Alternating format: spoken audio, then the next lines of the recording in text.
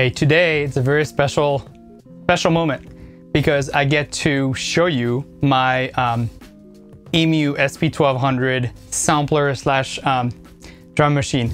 Um, you know, it's from uh, the mid 80s and it's a very special machine, of course, um, a genre defining. Um, some amazing people became very creative using that machine back in the day, which is very limited. Now, know that um, I love my SP1200. I use it a ton. It's the center of my studio, even though I use my MPC 2000 XL a lot uh, as well. It's my most favorite instrument, and uh, therefore, I will dedicate uh, quite a bit of my YouTube channel and videos um, around the SP1200. So this video is going to be an overview uh, of how it works and how I use it. And uh, many videos will follow. Um, please tell me what you want to know about the SP1200 in comments. Um, please like and subscribe. Okay, this is the SP1200, the front panel. Um, I have loaded a disc in there already. This disc is actually, it says number two on there, second beat I met on the SP1200. And so this was a, a few years ago. And it's kind of interesting because it's fun to sort of you know, deconstruct a beat so you know a little bit how that works and what you can make on it.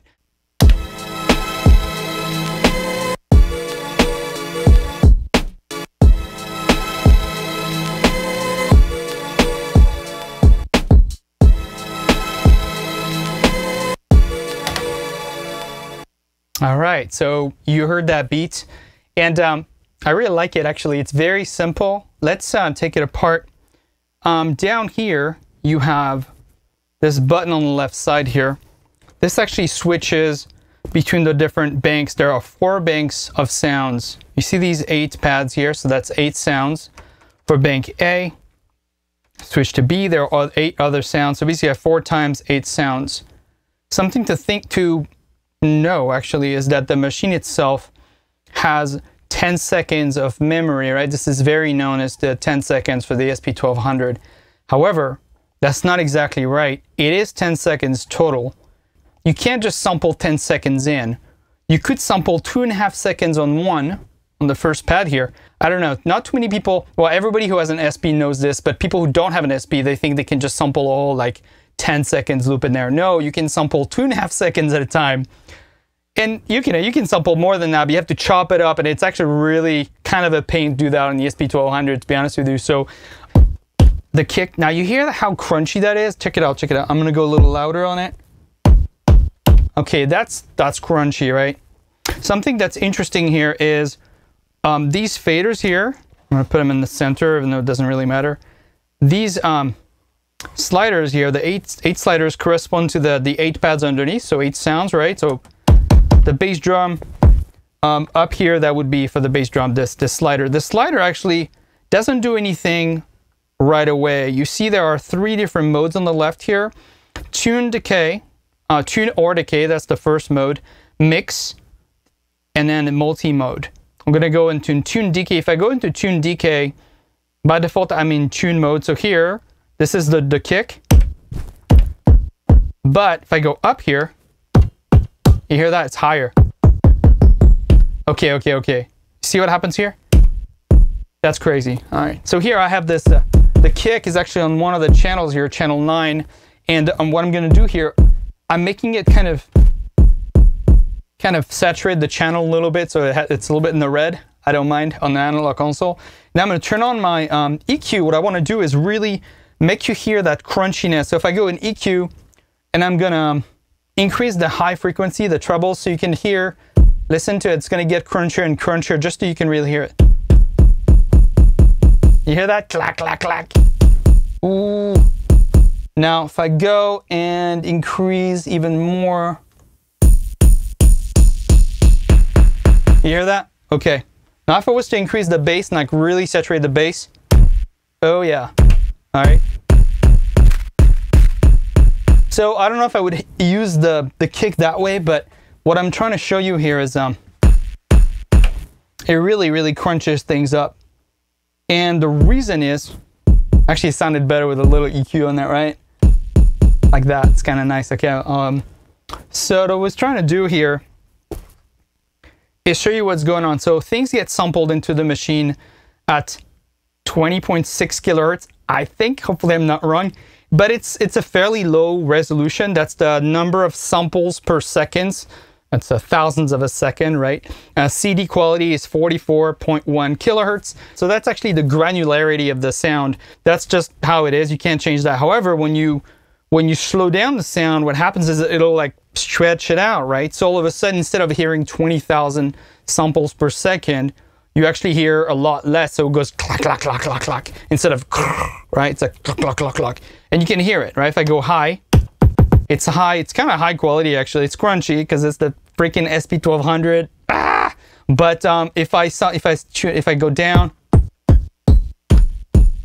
you can almost count it. It's like clack, clack, clack, clack. And that's just the kick. That's just the kick. Could you imagine when you do this on pianos and strings? I'm a big fan of classical, love classical music, you know, movie soundtracks and stuff like that. And um, let's listen to that, that crunch on a more of a musical sample. If I go to B, so by switching the, uh, the, the actual group to B, B group has, I think it's two samples here. Listen.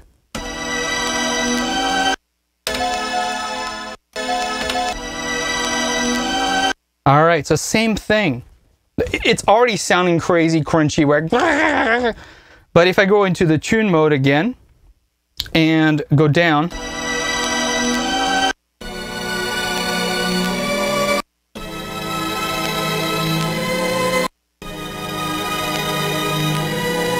All right, you hear that? When it's it's crazy stuff. But so I'm gonna go and actually do the same trick. I'm gonna increase some of the, the, the high mids and stuff so you can really hear it. It sounds like, it's like a fireplace, you know? It's like, what do you say, crépite in French. So it's like, uh, it's got a crépite sound.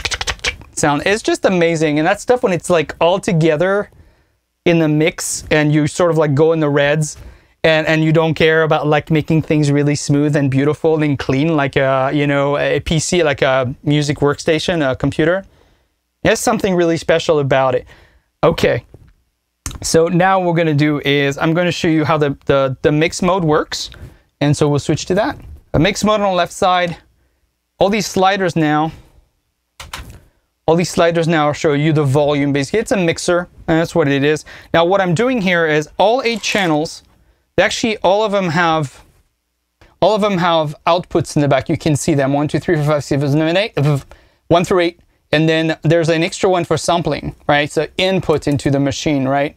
These are nine cables I have. There's an extra output called mix, and it's literally just the mix out. All the channels are merged together into one, so you don't need like a big mixer. In my in my case though, I actually have my mixer here and the way I'm doing is um, I'm using eight of the inputs in the back, nine through 16 here.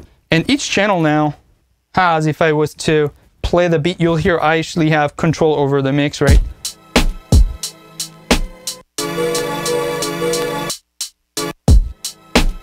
All right, now the mixer does that. And then on the MP, on the on the SP, not the MPC, the SP itself, you have the mix mode again, right? So you see the, your, your mix. And uh, from there, I can, I can make things really loud or lower. So earlier we went to mode A, the group A, and mix, and um, this is our, our bass drum, right? Our kick. You hear that? Now I'm turning it down, you can't really hear it anymore. Um, okay, so when you save to, to your disk here, you save to your disk, you save your um, sequences and sounds. It also saves what the, the mix is, right? So Again, the mix up there, you could save the beat where the bass drum would be would be lower, right? So you can do that. So now let's talk about multi-mode. So on the left side, I talked about tune decay. We, we played with the tune mix. You just saw what this does. Multi-mode, and this in the multi-mode, basically it's something you get into. Um, there's two modes, multi-pitch and multi-level. So multi-pitch allows you to take one sound and play it like like a piano, like a keyboard. So here, if I go,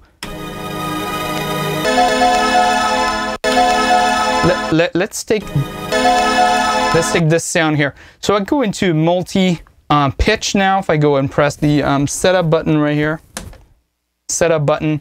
Um, when you press one of these buttons, setup, disk, sync, sample, next to them, there are these numbers. Setup is 11 through 23. And you have things, you have basically what you need to do is press a button here. And then in this area on the right, you have like a, kind of like a calculator, right? It's a dial tones. Anyway, it's just numbers, a numpad. And um, you type what you want to do. So as you saw when I click setup, top right corner, it says setup functions 11 to 23. You have to learn these things, right? So multi-pitch is 11 at the top here. So I press setup, 11. There you go, multi-pitch, select sound. So now we talked about the second, I'll do the first one, this sound.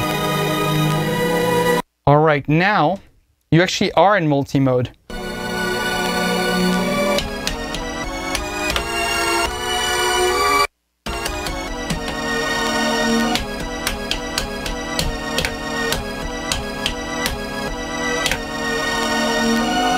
All right, so here's the deal. This is cool because you can obviously make melodies, sort of. You can make, you know, you can make different pitches, different notes with the th same thing. Also, what happens is this this is one sound. This sound is actually assigned to one of the outputs in the back. There are eight outputs, right? One through eight. So it, the way the SP works is you can, on one of the output, you can only have one sound playing at a time. This means that if it's a sound here, it's actually on seven right now. So it, I can't play two notes at once. It's to go.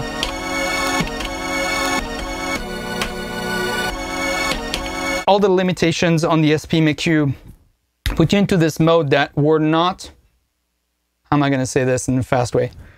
I don't know, man. Like, okay, so the whole world is about like power. You have like a million gigahertz and a million you know terabytes on your hard drives, and when you load sounds, they're 24 bit and they're like megabytes big. I don't know, it's crazy.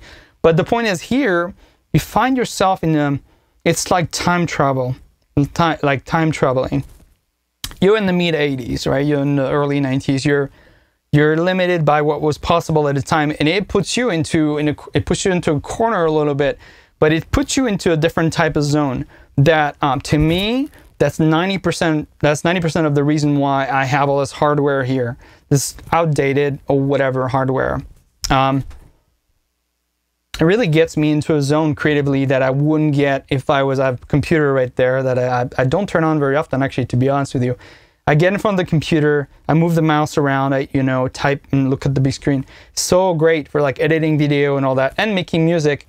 But I just I just, I just, just feels like work to me. I just have a hard time. I, I don't get into the same creative space. You, you force yourself to create stuff within these two and a half seconds, max sample, not 10 seconds, two and a half seconds, and then how things cut each other like that. You really get used to it. And mm, that's why Pete Rock's music's crazy. You know, just every, like, I, I have a blank, but all the people that are amazing out there, you know, large, large professor, just why am I not remembering everybody? Easy Mo Bee, you know, uh, uh, Ski Beatz. I mean, mad respect these people, and there's plenty more out there. DJ Clyde in France.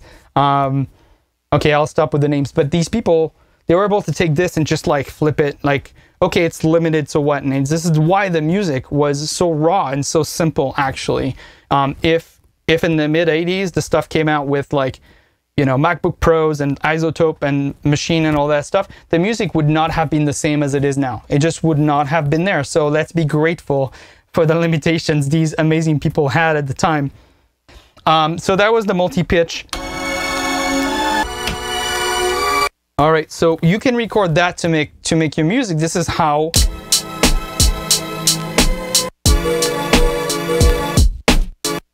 Okay, something that is good to know is I talked about these sounds being on separate outputs. So this sound, all right, let's see what, what output's on and change it. So on setup up there, I know this is actually setup 17. All right, setup 17, select the sound, this one, change the output channel, two, three, seven. So I'll leave on seven. The point is you saw me do setup 17, no, setup 17, select the sound, and then change the channel. You, you have a lot of things to learn, and it seems very um, counterintuitive, or there's just a lot. But actually, you just you do the same few things always. You delete sounds. I actually don't delete sounds very often, but I just keep sampling on top of each other. You do the multi-pitch, you know, multi-level. Um, you you just you truncate the sounds, you change the decay. It's very, it's just a few things essentially. All right, so what I'm gonna do now is actually show you how I can change the, I can cut that sound. So this one. So now let's go and truncate that sound. Go into 19 because I remember that's the right one. Press enter. Now watch this. Now this changes. Now actually these, um, you see these sliders here. All of them here, what you need to do is mostly look at these four sliders. I'm going to put these two at the bottom and these two at the top. These are the beginning of the sample. These are the, the end of the sample. All right, and this is more you know, this is more refined essentially. So here you jump quickly.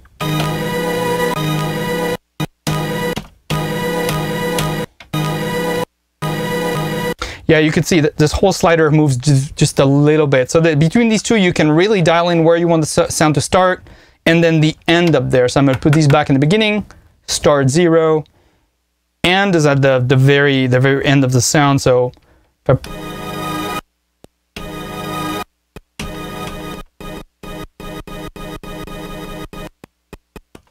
see that? The sound is so short now, 55 samples.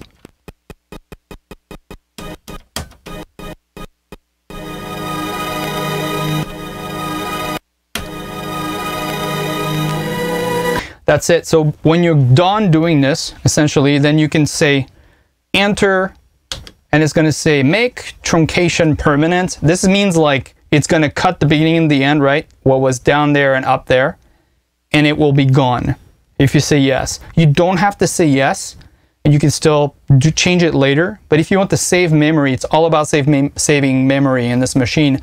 You say yes, and then you'd have to resample it again later or re-prepare the sound if you realize that you, you cut too much of it or you can't just add. It's kind of like getting a haircut. You cut, you can't bring it back. And by the way, I cut my hair today, so I look like a different person. Uh, I have contacts today. I have, um, yeah, anyway, I look like a different person. Let me go back to it. Okay, so I'm, I do not want to make that permanent, say no. Um, let's do one more thing. I'm going to show you how to save to disk. So again, this is a floppy disk. Um, it's actually, I don't know if it's a high density disk. I think this one isn't, but the machine itself uses double density DD 3.5 inch floppy disks. You can still find them. I really don't mind floppy disk. I like having a disk that has my beat on it. When I have like SD cards and stuff like that, it's just there's too much into one place. It's less tangible. The only problem with floppy disks is they go bad, so you have to make backups once in a while. I don't have backups of everything, by the way, so this is a reminder I need to do this.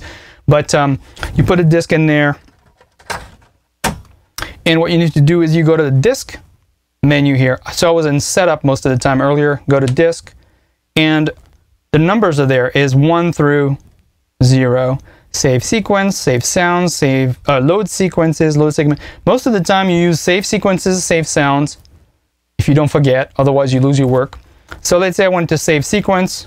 Let's say I change this a little bit. I actually don't want to save them, but you would press 1 to save sequence, and then it would, it would, it would save it. It sounds like a propeller in there. And then I would say save sounds, which is 2. So 1, let it go through. Two, let it go through. Then basically you're safe to remove the disk and turn off the SP. Uh, small story is the first beat I ever made on the SP1200 when I got it. I got the SP1200. It was, well, this disc said second beat uh, on December 22nd, 2018. So probably December 2018 is when I got this, the SP. Not that long ago, actually. People have had it since the 80s, right? Um, but this this I the first ever beat ever made is I didn't know how to save the sound, save the I don't know. I basically I think what I did is I um, loaded uh, instead of saved. So basically I, I did not save my beat. I'll show you what that is. So here on the disk, one through zero, save sequences, save sounds, the main ones. Zero says load sequences and sounds. So that's when I have another disk here. Let's do that. Um, I have this disk here says classic with Rocca. It's actually La Falda Azul. I don't speak Spanish, so but I think that's the title. And my friend Rocca, hero since I was in, the 90s, since I was a teenager in France, and I got a chance a few years ago to meet him. Um, and uh, made a made a beat, made a song with him actually. That's out on one of his albums. Um, the album um, is from Tres Coronas. That's um, um, his band, um, uh, his group down in Colombia. They're amazing. And so I'm gonna put the disc in there. I want if I want to load this beat, um, I press disc, make sure I'm on the disc like that. And zero is load sequences and sounds. I press this, listen to this. So it's still loading, right? It's crazy. It takes forever, but you know, it teaches you a thing. You know, it's crazy world out there. It's always fast. Everything's going fast. You scroll Instagram, you see something you like, like, like, like. It's like this is a slower world and it tells you just wait for the thing. It's fine. You can wait a minute. Really, it wasn't that long. Okay, so when it's complete, now you're in disk mode still. And so like nothing's to happen. So what you want to do is press this button here to go into segment mode and then press play.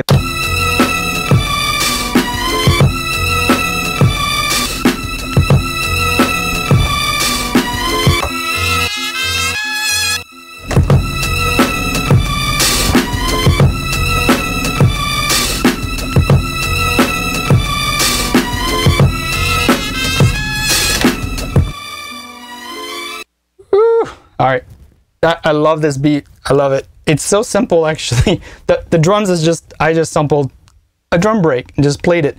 But back in the day, right, in the very beginning was like turntables and people were like, the DJs were just dropping samples, right? Like on the fly with, with, with the record. They're like, okay, now you have the, the break on the side. You got to rewind it, another break on the right side. Just keep it going. Now, I was very little at the time. I was not really exposed to this. This is a little bit before my time. But that's, that's why this music's made this way, right? It's very much like that. So, all right, so you can hear us right here. It sounds so good. I'm gonna crank up some EQ. You can really hear the crunchiness.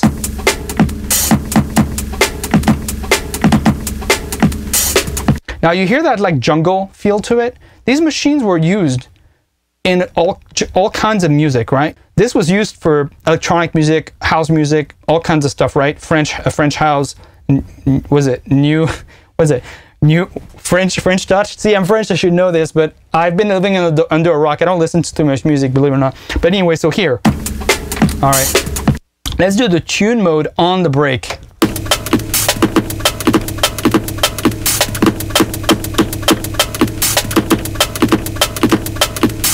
All right, I'm getting lost again. You hear that? You hear that? Yeah, you hear it, right? That stuff's crazy. If I go all the way down, listen to this. Ooh. And that's close to how uh, I gave it to Rocca. I think this is about the speed it goes to. If I press play, ooh.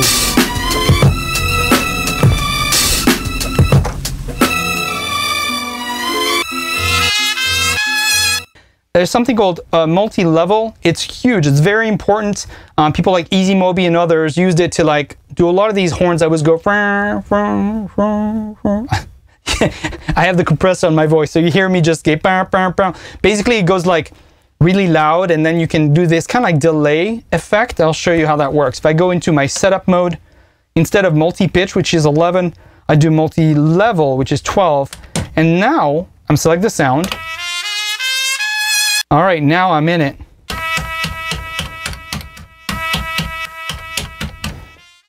All right, next time we'll be sampling because that's pretty important as well with the SP1200. Um, I hope you enjoyed um, hearing a little bit my thoughts about what the SP1200 means to me. Um, the whole thing is about limitations and creativity.